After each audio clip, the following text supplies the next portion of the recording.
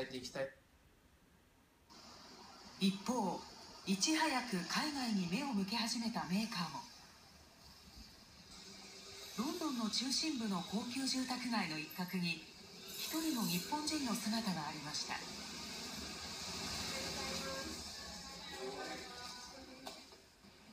新興人気ブランドケーミーを立ち上げたケミ社長です。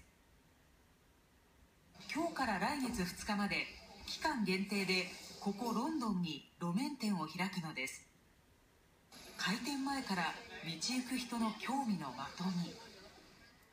アイコンになってる着物の柄とかちょっとやはりこの辺で見ない色使いとかすごく気になるみたいでそのユニークさがあの興味を引いてるみたいな感じありますね。ケーミーは世界的に流行しているジャージー素材のワンピースを日本風にアレンジ。もともとはイギリスブランドで火がついたジャージー素材でイギリスに打って出たのです。メイドインジャパンにもこだわり J クオリティの認証も申請しています。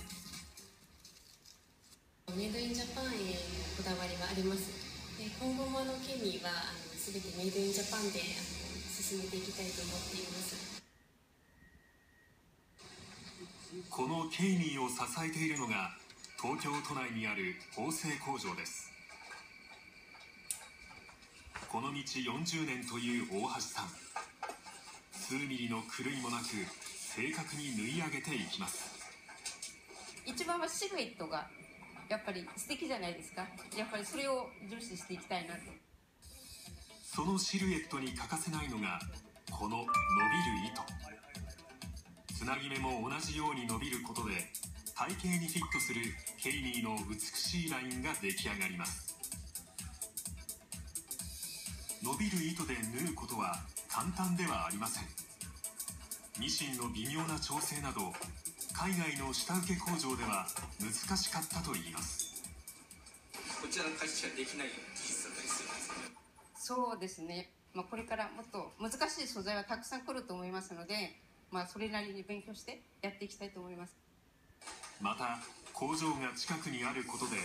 細かい縫製の要求もしやすくよりケイミーブランドに合ったワンピースが作れるといいます。ケイミーブランドは2011年通信販売から開始。そのわずか1年後に東京銀座に本店を構えました。ジャージーの伸びる素材は自宅でも洗えることから働く女性に支持されています。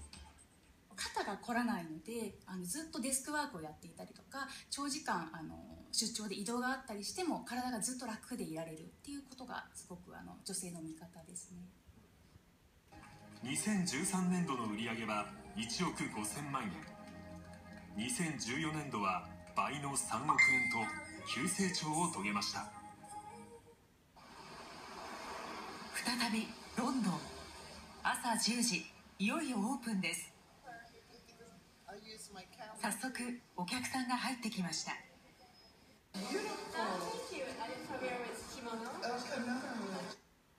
ケミさんメイドインジャパンにこだわった商品だということを強調します。Um, I love her fabrics that she uses, her choice of fabrics and her colors. こちらの女性はドレスを試着。I'm not a brand person, so I just look for quality in what I buy. ジャージー素材のワンピースの人気ブランドの本拠地イギリスの女性客の心も掴んだようです。